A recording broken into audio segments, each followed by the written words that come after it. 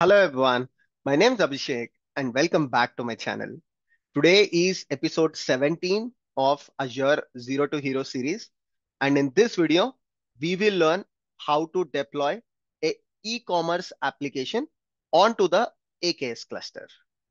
So this e-commerce application is made of eight services, eight microservices. There are two databases that are involved. One is MySQL database and one is MongoDB Along with that, there is also a Redis, which is in-memory data store. So this project is combination of deployments, stateful sets, persistent volumes, storage classes. Along with that, we will also implement ingress configuration. Once I deploy this entire project on Kubernetes, I'll show you how to create the ingress controller and also ingress to expose this application to the external world. So it's going to be a lot of learning please try to watch this video till the end. So before we learn how to deploy this on a Kubernetes cluster, the first thing that we need to do is understand the architecture of an application. In this case, this happens to be a e-commerce application. So let's understand typically how does e-commerce applications architecture look like. So firstly, I deployed this application on my laptop. Right now, it's not running on Kubernetes, but to help you understand the architecture and also the high level design, I have initially deployed this on my local.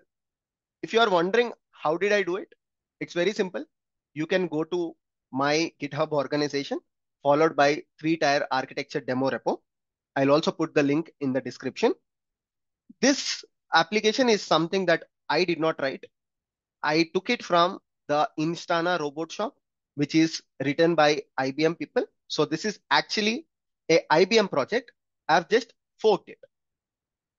Of course, I could have even uh, performed the demo from their uh, GitHub repository, but I had made some changes according to EKS and AKS. We have also demonstrated this project on Amazon. So if you are interested in learning on the EKS platform, then you can follow this folder. There are detailed steps that are involved, right? What are the uh, prerequisites, how to set up the cluster and everything. And there is also a video on the channel. But today's video is focused on AKS. So because I've tweaked something, uh, that's the reason why I'm using my fork, right? But the complete uh, source code credits goes to the Instana project. Okay, now if you want to run it local, you can uh, just clone this repository and run Docker Compose up, which is something that I have done. Now let's try to understand the project. So there is a user interface, typically how your Amazon or Flipkart, all of them have a good user interface. Similarly, this project also has a user interface. And what is this project actually doing? So it's a proof of concept project for learning e-commerce. If someone wants to understand how DevOps engineers or how to write a e-commerce application, you can use this project. And this is actually selling some robots. Just like Amazon sells merchandise, goods, electric products, electronic products, this particular uh, project is actually selling the robots. So there are a bunch of robots and you know anyone can log into this particular project and buy the robots, which is a pseudo behavior. So firstly, user, if we understand the user workflow, so user would actually register a account, which I have just done. I've created a uh, email address, dummy one, and a dummy username. And once you register, you can actually log in, just like I'm I've logged in at this point. And then there are categories. So there are two categories. If you go to Amazon or Flipkart, there are some thousands of categories. But because this is a proof of concept or demo uh, project, there are only two categories. One is artificial intelligence, one is robots. Actual e-commerce applications might have multiple category categories like uh, if you take Amazon, they might have men's, women's, they might have some accessories, they might have some um, you know clothing related one. So there are different categories. Here there is one category called artificial intelligence and one category called robot. So you can pick up any of these uh, robots that are available, right? So let me pick up responsive enforcer droid. So this is the responsive enforcer droid. And here, what you can do is one, you can provide the ratings for it if you have already purchased and if you know if this product is good or bad, you can provide ratings just like I provided five rating now. And I can check out the product. Let's say I want five pieces of it. So I can select the quantity as five and add to cart. Not just this, but you can also use the search option to browse through the uh, entire uh, products. Let's say I search for stain, Stan. There is something called Stan, right? So let me search for Stan and I get this uh, search option here and I can also click the robot and let me say I want 10 uh, quantity of this, quantities of this. So I've added both of them to the cart, just like how you do for a typical e-commerce application. Then you can click on the cart option and here you can check out. And once you check out, depending upon the region that you're providing, so this application also does that. Let's say if I select India and let's say I select Hyderabad, it calculates how far it is uh, from the this application uh, assumes to be uh, let's say in the US region. So how far is India and Hyderabad from that and what is the cost of shipping? Let's say I select uh, Canada and uh, I select Montreal, right? Or let me pick up this, any of the region that is available here. I randomly picked up one. So here the cost is different. And if you click on the confirm button, so here you have all the applications that you have selected, sorry, all the bots that you have selected, including the shipping cost. Click on the pay now button. You can also integrate the payment gateway in this application. You can uh, integrate it with your PayPal or you can integrate it with your Stripe. But I did not do that particular thing. I just went with the default flow and it says review your product. Thanks for ordering, continue shopping. So exactly how a e-commerce application would work, but a very minimalistic e-commerce application. If you are a developer, let's say you want to understand how e-commerce applications are written, one more advantage is that all the source code is also available. So everything is open sourced. You can also go through the source code of it and learn how to write a e-commerce application. And one more good thing about this project, I'll stop talking about the project in a couple of minutes and I will go to the high level design. But just to finish, also one good thing about this thing project is that each microservice is, is written in a different programming language, just that you get the feel of working on all the programming languages. As a DevOps engineer, uh, let's say the payments application. So here, the payment application is actually written in Python. So you will learn how to write a Docker file for the Python application. If you look at uh, the catalog, let's say, catalog is written in Node.js. So you can learn how to containerize a Node.js application. You can look at, uh, let's say, cart. Cart is written again in uh, JS. So you can learn how to containerize a Node.js application. Let's move to a different one. Uh, if I pick up, let's say, the ratings application. So here ratings is uh, written in a different programming language. Let's see what is this one. So it is written in PHP. So you can also containerize a PHP application.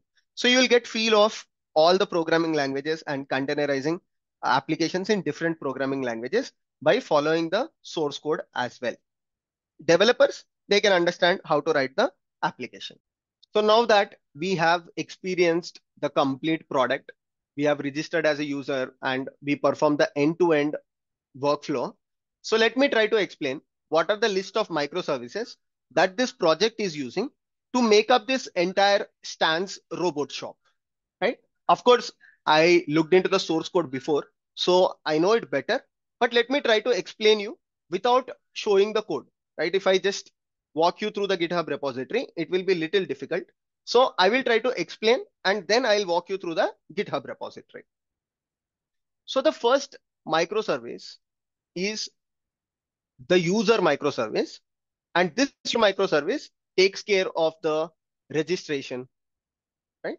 So as soon as we access this website, the first thing that we have done is we have registered a user.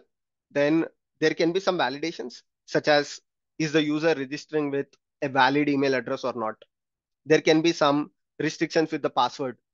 Everything is taken care by the register. And once we register, then this information is stored and we can log into the website. Because we have already registered, our username and password is recorded. And if you provide the perfect username and password, you can log into this particular Stan's robot shop. So there is a user microservice and this user microservice will also access a database. So there should be a database and this database should have the information related to the user's username, password, all of these things. Then second one, as soon as I register, the immediate thing that I've done is I have explored the catalog. So obviously the another microservice should be the catalog microservice. And within the catalog microservice, there are different categories. There are different products. Each product has a description to it. There is a pricing. There is an image, right? So there are so many things that are involved with the catalog microservice. Then there is the cart microservice right? And what exactly is this cart microservice doing? So if I like any of these robots, I can select the robot and I can add it to the cart. And even if I log out, log in back, then the information has to be preserved in the cart. So cart, of course, if I check out and if I buy the product, then that will not be in the cart. It will be uh, in the uh, purchased items, which this uh, Stan's robot shop does not maintain. Only if you did not uh, move to the payments, then the application will be still preserved in the cart. So that is about the cart microservice. After that, there should be something related to the payments because if you go to the cart, then you have an option to proceed with the payments. Of course, before the payment, if you have noticed when I was uh, showing you the end-to-end -end workflow, there is a shipping calculation that is going on, right? So there should be a shipping microservice. And what is this shipping actually doing? Depending upon your location, it is calculating the distance and it is providing the amount of price. In some cases, this is hard coded, so you can also ignore. But in real e-commerce websites, what is this uh, Stan's Robot Shop trying to show us is how does a e-commerce website function? So depending upon the location that you are, so it has stored all the information, different countries, locations, and depending upon the location, this shipping microservice is actually calculating how much uh, should it charge for the shipping to a particular location, or even if uh, the product is available in that location or not. This is about shipping. Now, once shipping is done, right? Uh, okay, you selected the location, then you clicked on the payment let's say the payment is also done. Then there is dispatch. So dispatch microservice is providing us the information that, okay, your product is selected and the payment is also authorized, authenticated. We got the payment. Then it is showing us a display message, right? That, okay, so your product is ready to deliver and uh, we have dispatched your product.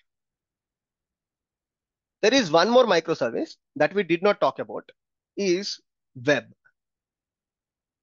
Now, how are we accessing this entire application? We are accessing because there should be uh, the user interface, the HTML uh, for this, and probably written in Angular or written in React or written in HTML, whatever it is. But end of the day, this should be deployed into a web server and there should be a microservice which is hosting the web server, right? It can be Nginx or it can be HTTPD so this is another microservice. So these are the ones. Now let's go back and look at the code and try to understand if we listed out the things correct or not. It's very simple. If you go back to the uh, source code, then you will see the folders. Each folder is representing a microservice. So ignore AKS, ignore this one, ignore EKS, K8s, OpenShift, Docker Swarm. Applications, the services starts from here. Cart, we got it right. Catalog, we got it right. Dispatch, we got it right. again, ignore both of these things. This is for the load testing. Then there is a MongoDB. There is a MySQL DB. I'll come to the DB parts.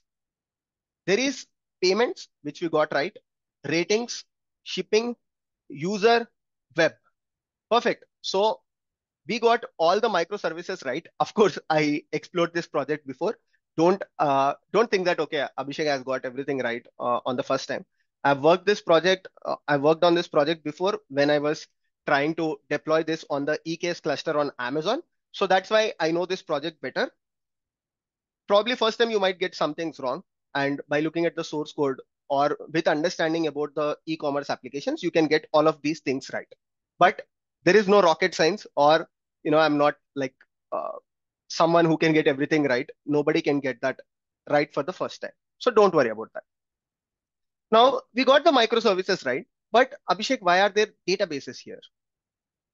Like we can see that there is a MongoDB and there is a MySQL database. Very simple. So if you go back, right? If you go to this website, there are images when you click on a robot. For example, this is an image. And if you click on a particular robot, again, there are some images, right? So where are all of these images stored? So there should be a database, right? So for that reason, this project is using MySQL database. Uh, yeah, so this project is using MySQL database for storing all the images related to the uh, products. And then there has to be a database for the user registration and all. That's where this project is using MongoDB. Simple question that can be asked here. Abhishek cannot I use only one single database and maintain different tables. Of course, you can do it. Like, you know, uh, you can do anything. But what this project aims is to provide information about different uh, databases. Like anyone who explores this project, they should have a very good hands-on using different programming languages, different databases. That's how this demo project is designed to give you better understanding. That's why there is one MySQL database and there is a MongoDB maybe in real times also, this is a very valid use case because uh, for all the unstructured information, such as the images, all the uh, unstructured data, you can use uh, a different database. And for the user registrations and uh, all the other secure information, you can maintain a different database. That is also fine, right? And intentionally, each of this service is written in different programming language. Like, for example, if you go to cart, right? So if I go to cart, so cart is written by looking at these things. It should be written in Node.js, it is written in Node.js. And if I go to, let's say, payments.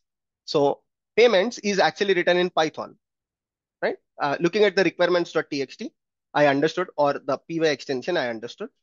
And Dockerfile also explains that this is written in Python. Similarly, one microservice is written in PHP, one is written in Java.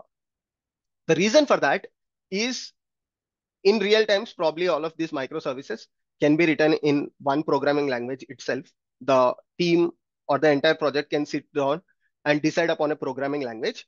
But to give you a better understanding about different programming languages, and if someone uses this project as a DevOps engineer, they can get hands-on on writing Docker files for different projects that's where you know each microservice is written in different programming language but it's not a, a mandatory thing it is not that each microservice has to be written in different programming language the only criteria for having a different microservice is that each of these components should be independently managed deployed right so the let's say if i want to deploy the payments application it should not disturb anything with respect to the cart. So if the payment application can be independently deployed, independently managed, removed and replaced, in such cases, we will use a different microservice.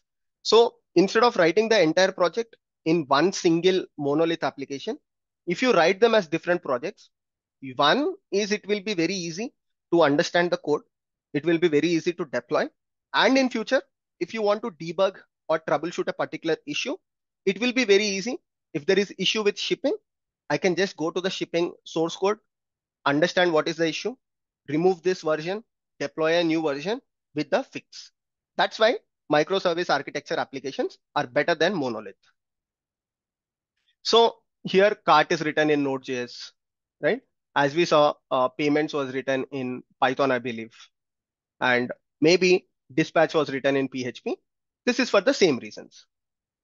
So, okay, Abhishek, I understood about the microservices, then I understood about the databases, but there is also, right? If you if you carefully observe here, if I go back,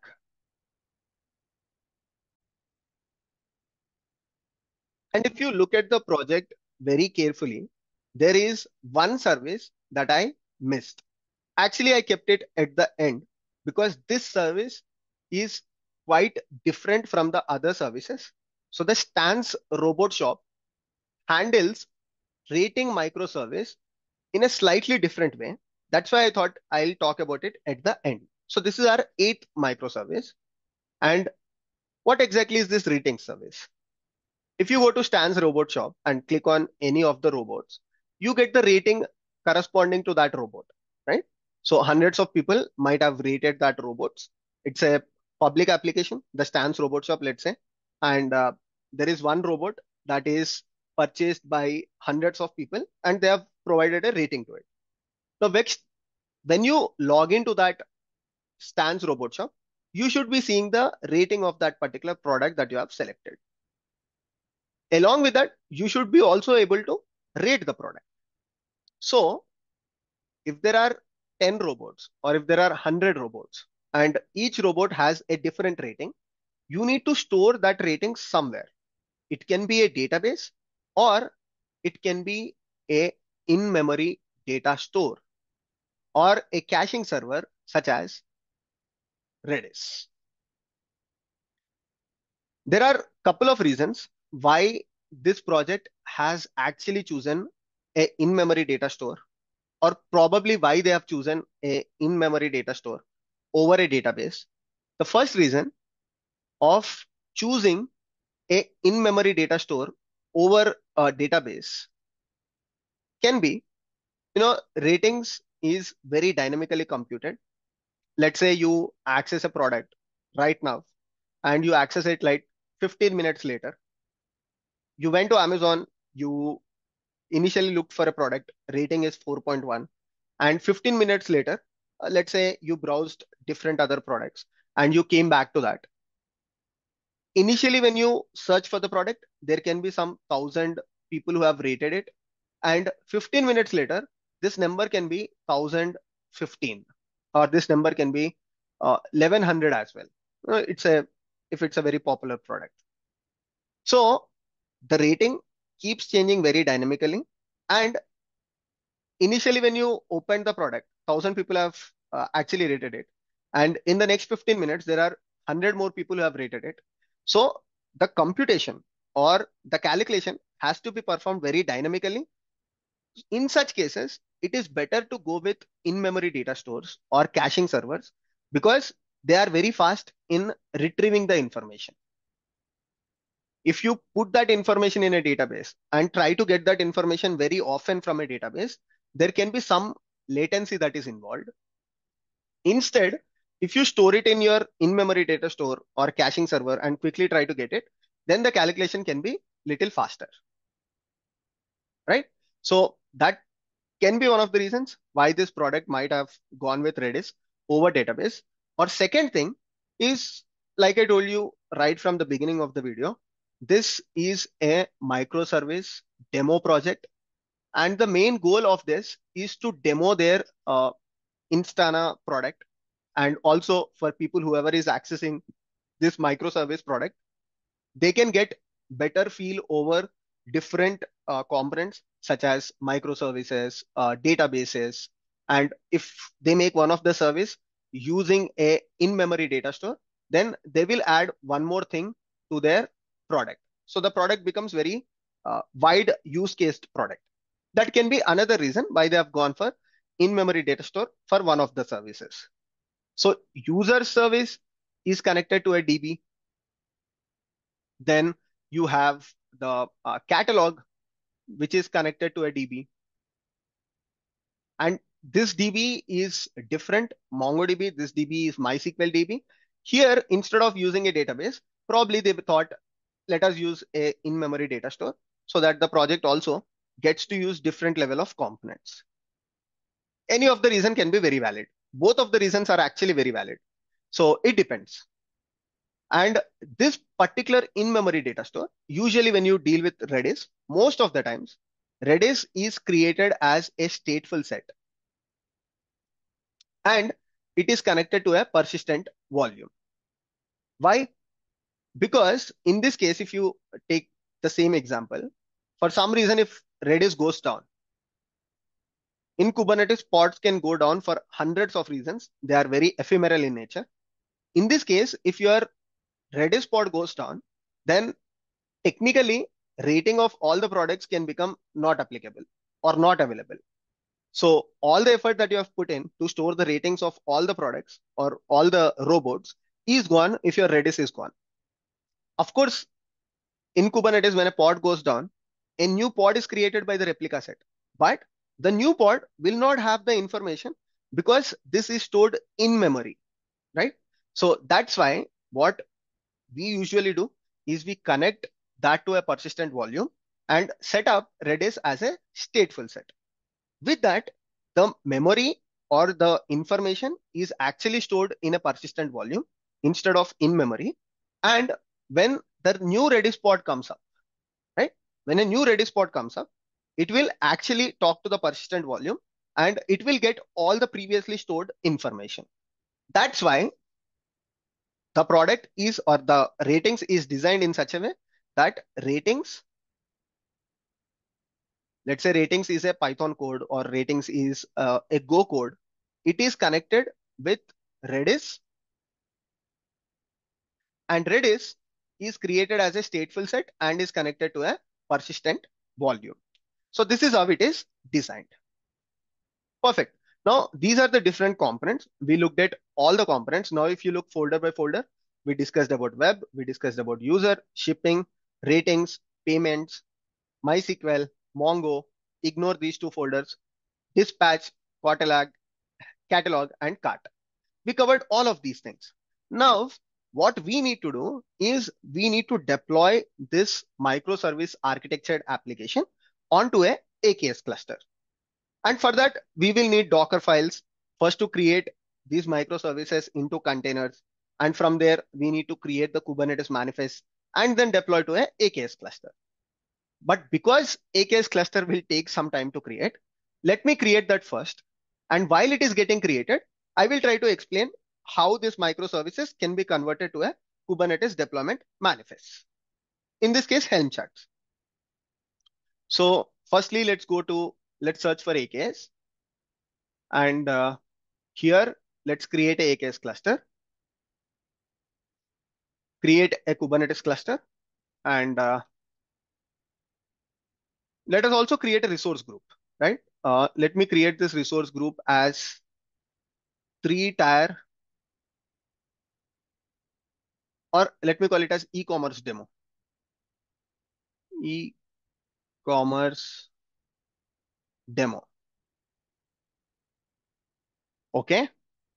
And uh, now what I'm going to do is quickly select these options like I've explained in the previous classes. Cluster preset configuration, keep it as dev test. Kubernetes cluster name, let's call it as three tier. Region can be US, uh, West US 2. In my case, I'm connected to a VPN. Uh, that's why I'll go with uh, West US 2. Uh, in your case, you can pick up region that is near to you. Availability zones, let me pick up zone one. AKS pricing tier free, but this is not completely free. It is only your cluster management that comes for free.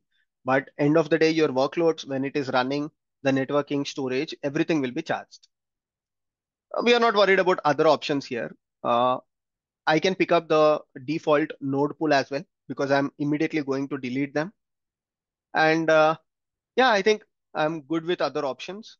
Let me click on review plus create and make sure your validation is passed. If your validation is not passed, better select a different region, right? Rather than changing the options. if you are only looking at the demo, pick up another region that is near to you and make sure the validation is passed. There can be reasons why validations can fail.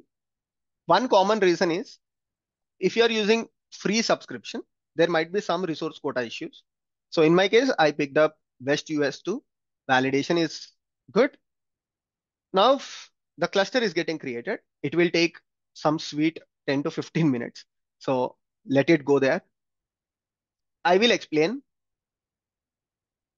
Right. So right now we understood about microservices, right? So to deploy these microservices onto Kubernetes cluster, one is first we have to pick up these microservices. We need to containerize them. So to containerize, we need Docker files.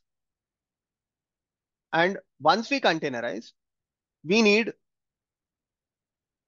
K8s manifest files. And then we need to convert them to Helm charts. And finally, we will deploy this Helm chart onto the AKS cluster. So we have set of things to do. Let's go step by step. Firstly, how to containerize these microservices, right? One good thing for you is all of these microservices are already containerized, right? Because this uh, Stan's Robot RoboShop. It's demoed a lot of times. So they have all the Docker files in place. Let's go service by service and try to understand the Docker files. Most of the times, uh, the Docker files will look in the similar way, just that you need to understand how to containerize a particular programming language. Uh, let's start with the cart application. So if you look at the cart application, so this is a Node.js application. And if you don't know the internals of that particular microservice, while writing the Docker file, it is better to sit with the developers. I'll give you best example. Probably you don't know what should be the entry point or what should be the CMD.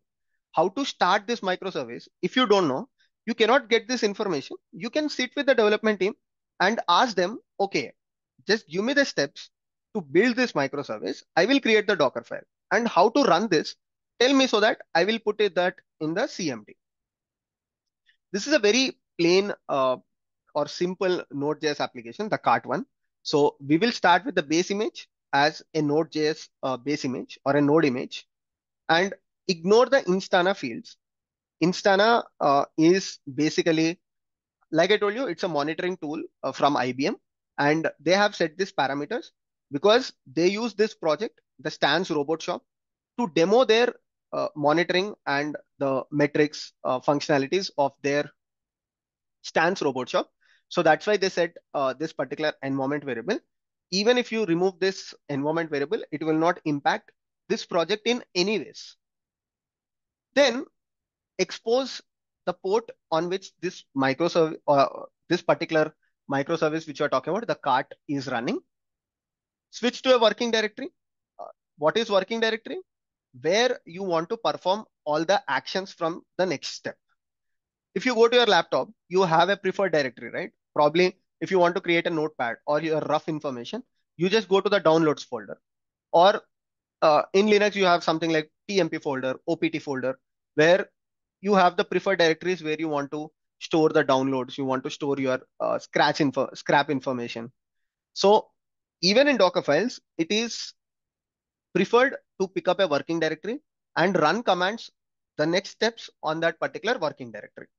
Again, if you don't pick up working directory, it will go to the default directory. Copy the package.json. If you have uh, any prior experience with Node.js, if you don't have, just understand that package.json holds all the information of the dependencies.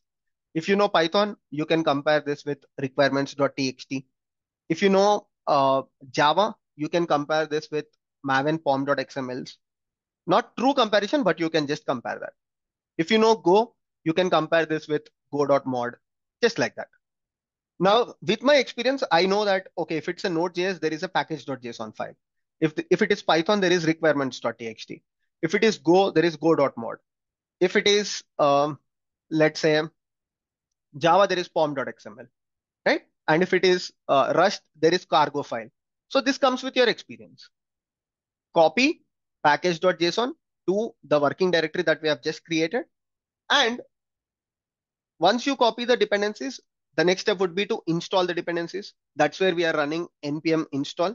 So we have all the dependencies that we are installing inside this container or uh, you, while building the container image. Finally, we are copying the server.js, which is the source code. The cart application entirely the source code is written in the so, uh, server.js. So the dependencies for server.js are installed using npm install. Now to just run the server.js, we are running this command called node server.js. To run any application, if it is a Python application, let's say. So we might put python app.py. And before step would be to copy the app.py app.py file into the working directory. Before step would be to run the Python or pip install requirements.txt, right? Before step would be to copy the requirements.txt. Remember what I said. And when we go to the Python microservice, you will see that the same steps are followed. Let's go to a Python microservice. I think ratings is a Python microservice. No, payments. Yeah, payments is a Python microservice. Let's go to its Docker file and see. See, like I told you, copy requirements.txt, pip install requirements.txt, copy app.py, and execute the python app.py. Initially, they use this as a command or as a command to run when the container is started. But later they changed the uh, thing to the web server gateway interface. Like I told you, if you don't know this particular thing, you can sit with the developers. Most of the times, you might not know how to start that particular uh, server or the application. You can get the entry point or CMD command from the developers. But you might have seen all the steps that I mentioned are exactly in the same order. One anti-pattern in this particular Docker file is to switch to the root user. Better don't do it, but because this is a demo project, they have done it. Now let's go to another service, right? Cart, we understood how to containerize it. Let's go to catalog. In catalog, which is again a Node.js thing, you will find the same things, right? Difference between cart and catalog, literally there is no difference, right? If you go to the server.js, uh, sorry, if you go to the uh, Docker file of cart, there are 15 lines and the same lines and the same commands are available in the catalog Docker file also. So this should explain you, if you know how to write a Docker file for a particular programming language, you almost know for other applications, wherever, whichever project that you work on, some things might change, but the overall structure will be the same.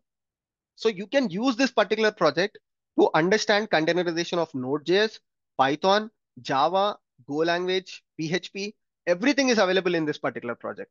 So see how useful is this. Now go to the dispatch.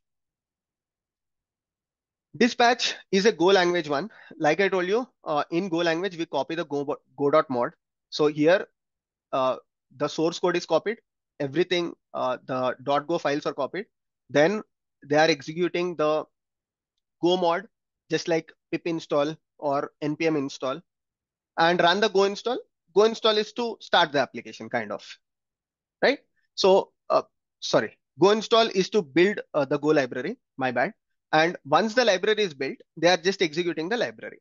So the library is dispatch. And here they are running the dispatch particular library that is created or the binary that is created. Better we call it binary. So let's go to the, uh, let's say shipping application. So shipping application is uh, a Java application. We can see the pom.xml here. And if you go to the Docker file, this one is slightly different. Here they are using multi-stage Docker build, where in the first stage, they are actually building some jar and they are copying it. Here, if you see, right, they are copying the jar from the build stage to, yeah, so from the build stage, they are getting the jar file from a particular folder and they are copying it to the OPT shipping folder in the final stage. And here using the CMD command, they are executing the shipping.jar. So what they're technically doing here to reduce the image size. Okay. Initially to build the Java binary, such as the jar file or the war file, there are too many things that is required. Like for example, we need Maven installed. We need the dependencies that are installed, which can be uh, very heavy in nature. So your container image size will become heavy. So using the multi-stage Docker build concept, in the first stage, they used a heavy image, that is the Debian image, and they have installed Maven on top of this image. They got all the dependencies and they built the shipping.jar. Instead of directly executing the shipping.jar here, they took the shipping.jar and copied it to a very lightweight image, the OpenJDK image, and that shipping.jar is executed in the runtime build image. So this is the build image and this is the runtime image. In the build image, they got all the dependencies. In the runtime image, they just copied the jar file from the build image and are executing here. So this is the concept of multi-stage Docker builds, which I have explained, I think in day 26 of Docker Zero to Hero series, where I explained how to reduce the Go image size from 800 MB to 1 MB. You can watch that video. Perfect. So similarly, there are uh, containerization uh, Docker files that are available in each and every folder. Let us see, meanwhile, if our cluster is created. Perfect. So my Kubernetes cluster is now ready. If you go to resources, I can see the cluster here. So we have the Docker files available. We have the cluster available. What is the one step that is left is to understand how to create Kubernetes manifest for this Docker images. Let's say once you execute all of these things, you got some Docker images. What this project has done, they have already uh, created the Docker images and they stored the Docker images in the Docker hub for anyone to pull that. Or we can also create the Docker images, but just to save time, creating Docker images is not a big deal. If you just uh, go to the README file of this particular project, right? If you just do this command, docker compose build and docker compose push, you provide the parameters of your repository and your docker registry or container registry. All the images are pushed to your container registry. This is just, it will take some additional five to 10 minutes. So instead of just pushing onto my container registry, I will use the ones that they already have, right? So assume all the container images using this Docker files, we have created all the container images. Now, if you go to K8s folder, so I created this EKS and AKS folders. Initially, they just have the K8s folder, but if you directly take this and try to deploy it on AKS, it is not working for some configuration changes, which I've done to the Helm charts. Uh, basically, with respect to persistent volumes, storage classes, readiness probes, I've tweaked something. So if you go to the K8s folder, so here there is Helm chart. And inside the Helm charts, so if you are new to Helm charts, basically there are three important components of Helm chart. One is chart.yaml. Second is template.yaml. Third is values.yaml. The difference between deploying your Kubernetes YAML manifest directly, like you can take your Kubernetes YAML manifest, like create a deployment.yaml and service.yaml for each microservice. So there are eight microservices. So it will be something like 16 YAML files, and then there are two DBs. So again, one deployment for DB, one service for DB, and for Redis also. So overall, it will be some 24 YAML manifests that we have to create for this particular project. You can deploy all of them like using kubectl apply command or kubectl create command. But the disadvantage is that in real time in organizations, what we do is we might have different environments such as dev, staging, prod, and for each environment, we might have some parameters that are different. Let's say for developer environment, we might start containers with resource requests and limits such as I will say if it is a developer environment, uh, each of my container or each of my pod uh, should be not accessing anything more than 512 uh, MB RAM, or it should not exceed uh, one CPU of usage. Whereas in production environment, I can say that, okay, my pods can actually go up to 1 GB and 2 CPU. So there can be parameters that are dynamic. So if you use the Kubernetes plain YAML manifest, the problem is you have 24 manifests. And if you have five environments, you will end up creating 24 into 5, 120 uh, YAML manifests, which will be super complicated to maintain. Instead, if you create a Helm chart using these three files, inside the template dot, sorry, inside the template folder, this is not template.yaml, my bad. So you have a templates folder. Inside the templates folder, you can actually dump all your 24 YAML manifests and whatever the parameters that you want to keep dynamic, you can just update them using values.yaml. So templates folder will have all these 24 YAML manifests and values.yaml will modify the values that are dynamic when you run helm install command. So the values.yaml will take all the values or helm will take all the values from the values.yaml and update them in the templates folder of the deployment manifest. Chart.yaml is something to understand the metadata of the chart or to know the version of the chart in future if you have multiple versions. Let's take a look at that. You will understand better. So if you go to templates folder, within the templates folder, like I told you, you can dump all the YAML manifest that you want. And if I go to one of these YAML manifest, let's say the payments deployment.yaml. Here, if you see, it is saying that this value is dynamic. Okay. And it is saying the image is dynamic. So probably they have uh, for dev environment one image, for production environment one image, or the repo changes for environment wise. Right. And here it is saying the payment gateway is also dynamic, which is one environment variable. So payment gateway might change, right? Some people might want uh, a particular payment gateway. Other people might want another payment gateway. Similarly, uh, restart policy is dynamic.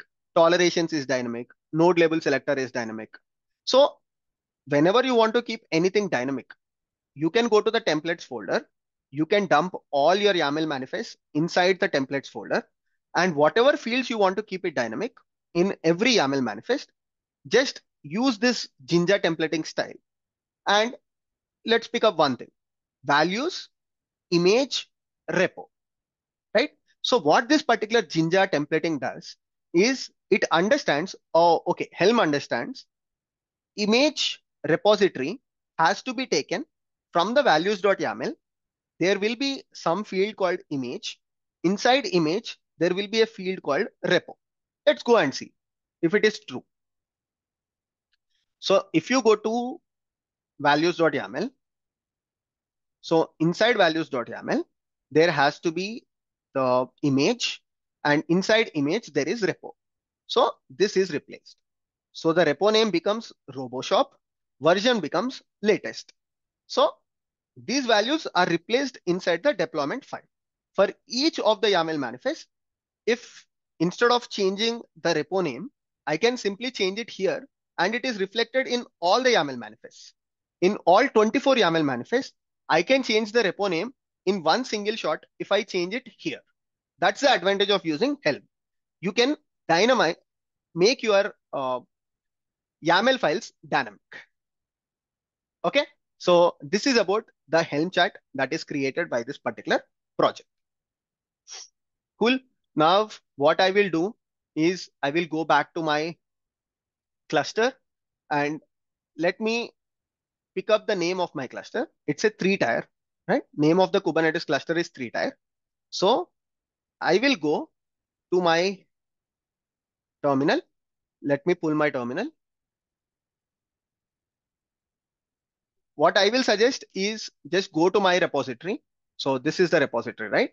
So go here, copy the repository URL And once you copy the repository URL, just go to your terminal and any particular folder that you want and run the command git. So I did this in the I am Veeramalla folder. I just did git clone followed by the URL and you will get this three tier architecture project cloned in your repository in your local. You can just do cd three tier architecture demo. In my case, my folder name is different. I have it as RoboShop. In your case, the folder name will be three tier architecture demo. Perfect. Now, first thing that I have to do is I have to connect my terminal to this Kubernetes cluster. So for that, I will just copy the cluster name that is three tier and run this command called AKS. Let me copy it from here. AKS get credentials. Okay, so the command is AZ AKS. You need to have the Azure CLI terminal on your local, and then the command becomes AZ AKS get credentials hyphen hyphen resource group. What is the name of the resource group? In my case, the name of the resource group is e-commerce demo, right? I think we created it as e-commerce demo. And the name of the cluster is three tier. Three tier. So this will pull the kube configuration and store it in my local. Now, once this is successful, I will be able to talk to that Kubernetes cluster. I'll put this command inside the day seven, day 16 folder or day 17 folder. Don't worry. So now what I'll do is I'll just say, I'll just test if the connection is successful. kubectl get pods. So I will, I'm just trying to see if connection is successful. Perfect. So I'm connected to that Kubernetes cluster. Or what you can also do is just type kubectl config current context. So this will show what is your current context. In my case, the current context is three tier. So that explains that I'm connected to the cluster. This is the best way, probably do this. And now I will switch to AKS folder and then I'll switch to Helm folder. I will highly recommend you to please spend some time here and go through each and every file that is in the templates folder because I cannot explain each and every file uh, you can just go through the template folder and browse through the files. You will get very good knowledge. And now I will just run the command called, uh, you can go to the uh, documentation, basically the Helm install command. If you go uh, to the AKS folder here,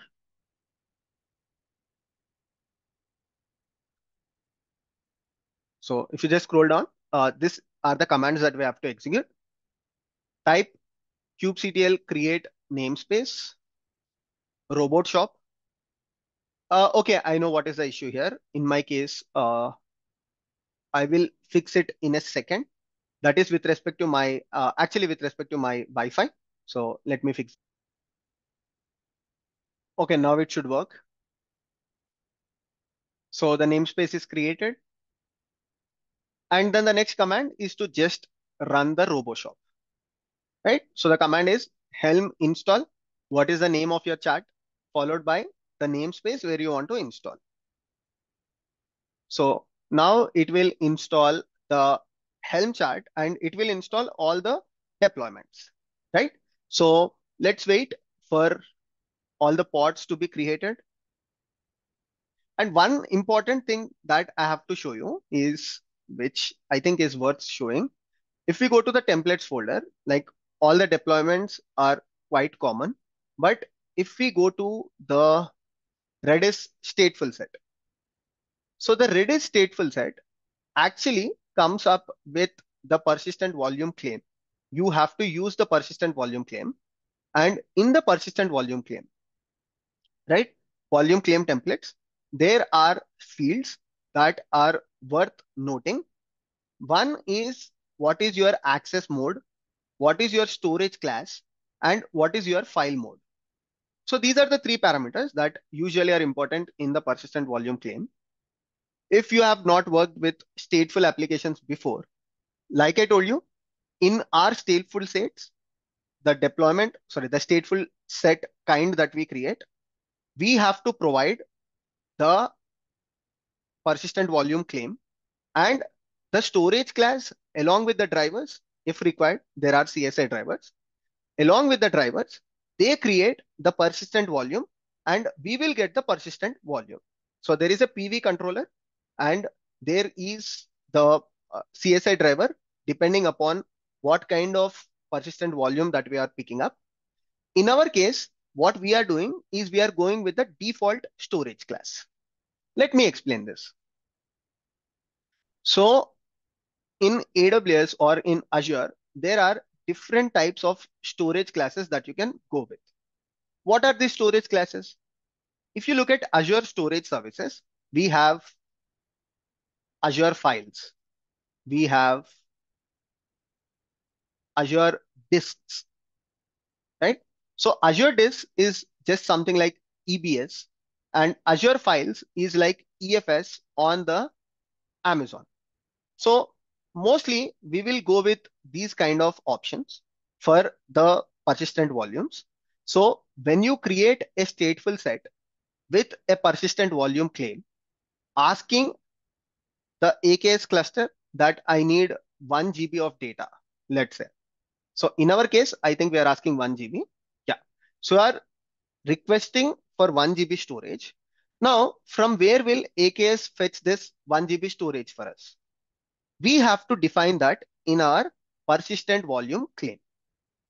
We don't have to just provide the storage value, but we should also say what kind of storage are we looking for, right? Even if it is on AWS, we have to tell this.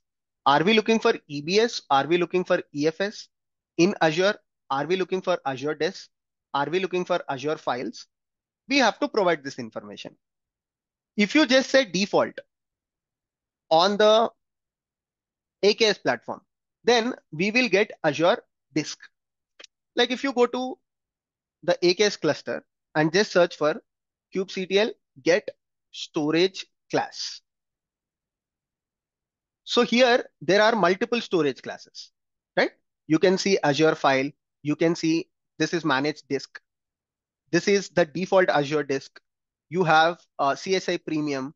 Uh, these are the premium uh, storages that are available with Azure. You can also request this, but the default option is the managed disk.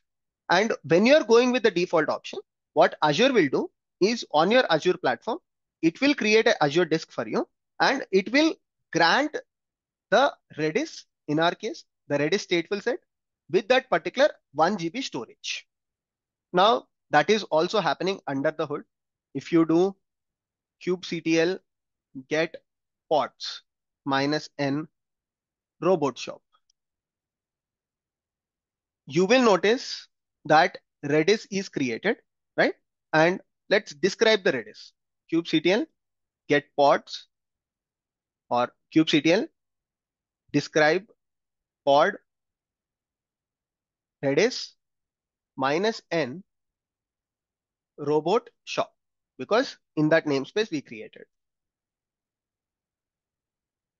So it said created container, pulled image and attached volume called this particular thing.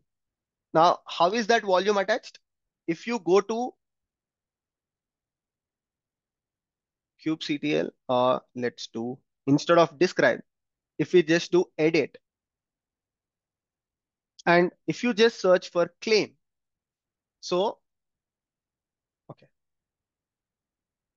so just search for claim here you can see that the persistent volume claim that is attached with this redis stateful set is data redis 0 so now you can just search for kubectl get PVC minus N RoboShop. This is the persistent volume claim. It is asking for 1 GB and storage class is default. That means you will get Azure disk.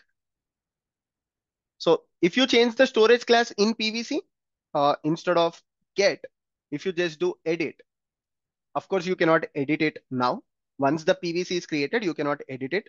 Before that, you can edit. But if you change the storage class name here from default to Azure files, then you will get that 1 GB in the Azure files. When should you go for Azure files or when should you go for Azure disk? Very simple. If your uh, storage is accessed by a single pod, then go with the EBS in AWS or Azure disks in the Azure. If your volume, okay, if you have some volume that is accessed by multiple containers across different nodes or across same node, you have multiple, like, okay, let's say across multiple nodes, if you have different pods that are accessing a common storage, let's say this storage has some config files, then you should go with EFS or Azure files. So if you have a shared storage, go with EFS or Azure files. If you have only pod, one pod that is accessing or just one time read, then in that particular case, you can go with EBS or Azure disk, right? So if we go back now, let's see kubectl get pods. You can also use some uh, third-party storages, right? It's not only about EBS, EFS, or it's not about Azure Disk and uh, Azure files. Sometimes we might also use external uh, storage servers such as NetApp, or we can use other things as well. In such cases, there is a concept called CSI driver, where you have to create those drivers, or the NetApp or any provider, they have to provide those drivers. RoboShop, I assume all the pods are running now. Let's see. Perfect. All the pods are currently running. And this is what we wanted. Now, all the microservices are running and all the pods are also running. Now, it's time where we will go to our Kubernetes cluster and we have to enable the ingress configuration. Why? Because right now, all the pods are running and all the services are also running. But how do you access this? My bad, minus n robot shop. So all the pods are running, all the services are running. How do you access this from external world, right? So you can access this like the web is created using a load balancer, but it is preferred to go with an ingress configuration, right? So you can use the load balancer as well, load balancer type service. But the problem is that if you use a load balancer service, uh, you don't get the extra capabilities that an ingress controller can offer. For example, with ingress controller, you can configure web application firewall. You can do uh, path-based routing. You can do host-based routing. You can do a lot of capabilities. So of course, I can just uh, access it on this particular URL now on the load balancer IP. But what I wanted to do is I want to show you using ingress configuration. For that, what we need to do is just go to your uh, AKS cluster and click on the networking. Here you have a checkbox which says enable ingress controller. Just select this option and click on apply. It is very, very simple on AKS. If you are doing it on AWS, then you have to uh, create the uh, de deploy the Helm chart for ingress controller configuration. And you also have to use the CSI driver for EBS. In Azure, it comes natively. All these components are you know, very easy to configure on the AKS cluster. So click on apply. This will take some five to 10 minutes. We need to wait. Meanwhile, let us see how to write the ingress file. So there is already ingress file on the GitHub repository in the same folder, but I'll quickly show you. Uh, just go with the API version, choose the kind as ingress, provide the namespace as RoboShop. Name can be anything, doesn't matter, but namespace has to be uh, within the Robo RoboShop so that uh, you can track your ingress resource. Then you have uh, rules where I did not select any rule. I just mentioned that the service has to be web which is hosting my uh, website. And the port number has to be 8080, which is the port on which the service is running. If you just do get uh, SVC one more time, you can see that the web service is running on port 8080. That's why on my ingress file, I have the service name as web and port as 8080. Other than that, this is all the default configuration.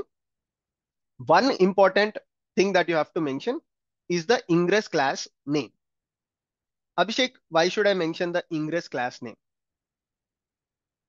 In some cases, your organization, right, uh, where you are using one Kubernetes cluster, let's say, and this Kubernetes cluster is shared by two teams. Let us take an example. So this is team one, which is using namespace A. This is team two, which is using namespace B.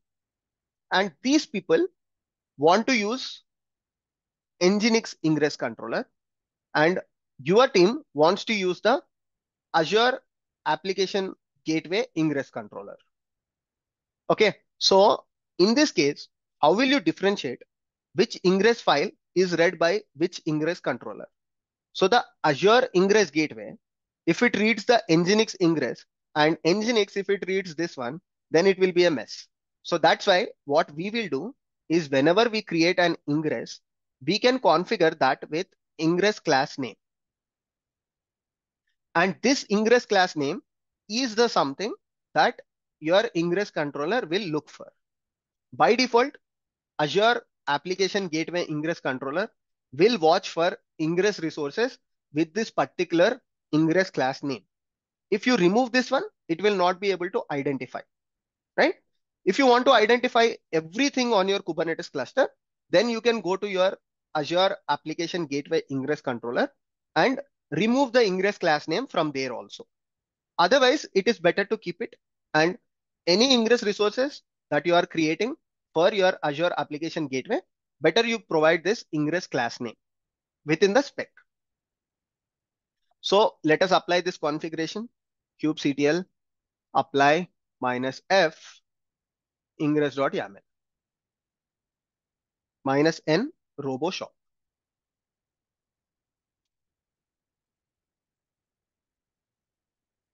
Cool. Now I will just wait for my ingress controller to be started. Just refresh here. It says it will take some 10 to 15 minutes, but it might not take 15 minutes. Most of the times uh, we can see it running in five minutes also. Cool. It is running. We can verify uh, by just searching kubectl get ingress, sorry, kubectl get pods minus a. So I'm searching for pods in the cluster, all across the cluster, and I'll just grep with this particular name. Actually, I know that is uh, that it is in the kube system namespace, but just to show you that the ingress app gateway, uh, what is missing? Let me Are the pods still not created? Let's see. Maybe they are still creating. Let me search. Enable ingress controller, ingress app gateway, kubectl, get pods minus n kube system. Let's me try here. Uh, yeah, they are actually created. Okay, they are just created with ingress hyphen app GW. I'm searching for app gateway. So that's why uh, I was not able to find it. But anyways, I just wanted to show you that the ingress pods are up and running. Now, if you go to this kubectl, edit, deploy, minus n, kube system,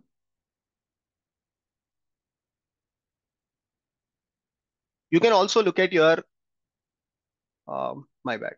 So this is the deployment name, right? So you can also read through your uh, ingress controller configuration with which configuration it is created, right? So it is created with how many number of replicas, what is the affinity rule. Uh, you can search for all of those things, right? So here there are some labels that are attached automatically. which says uh, this is managed by AKS, so the ingress controller. You can uh, get to see all of those fields. I would recommend just going through the uh, ingress controller uh, deployment YAML file also, so that you will understand what are the different parameters that are available in the ingress controller, right? Otherwise, uh, if you are new, you can ignore it for now. Yeah, so my ingress controller is also running. Now I will expect kubectl get ing, which is shorthand for ingress, minus n uh, kube system. Sorry, minus n uh, RoboShop.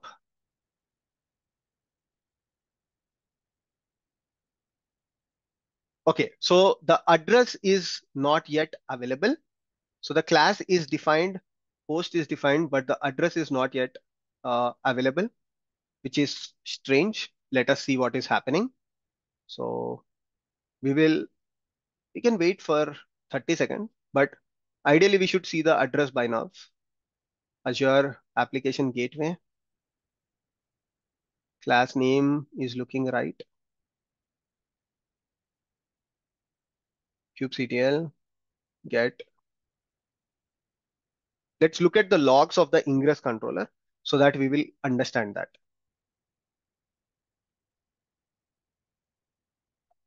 So I did kubectl describe or I did the edit deployment, right? So I can use the logs.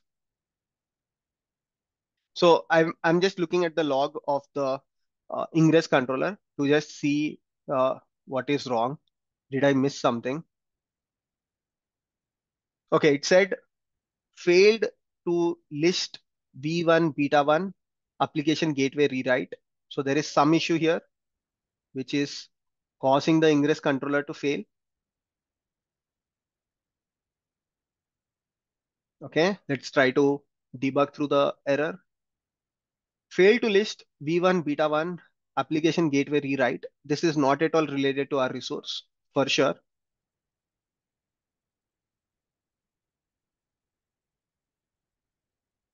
Okay, we definitely have nothing to do with this particular error message.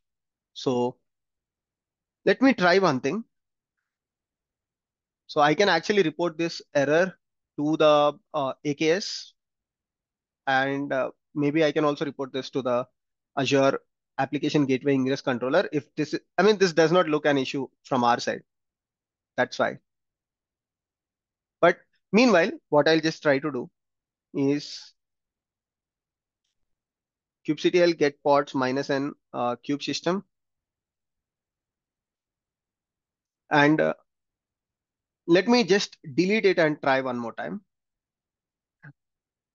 Maybe if there is any intermittent issue with uh, the AKS ingress controller, let's see.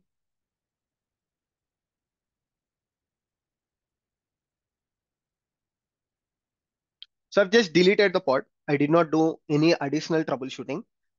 I'm just hoping it's an intermittent issue. Otherwise, we need to uh, really look into the AKS blocks or something to understand what went wrong. Is the new controller created? Yeah. So a new controller is created. Let's go through its logs. kubectl logs pod minus n uh, kubectl logs minus n kube system. Let's see. Okay. Till now, there is no error. Listing and watching, that is fine. It's not an error here. It's just listing. Oh, okay. It again failed to list something. There is a clear error message. Failed to list application rewrite. Azure application gateway rewrites dot app gateway. I did not create anything with respect to rewrite. So I'm quite surprised.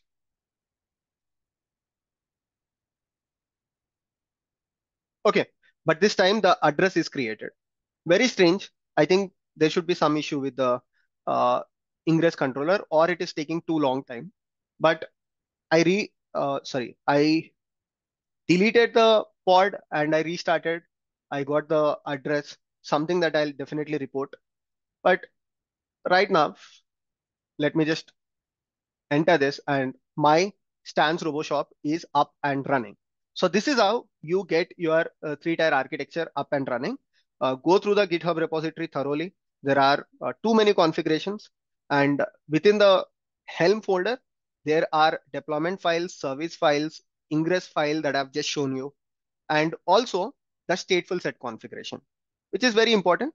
So I hope you found this video informative. Thank you so much for watching. See you all in the next one. Take care, everyone. Bye bye.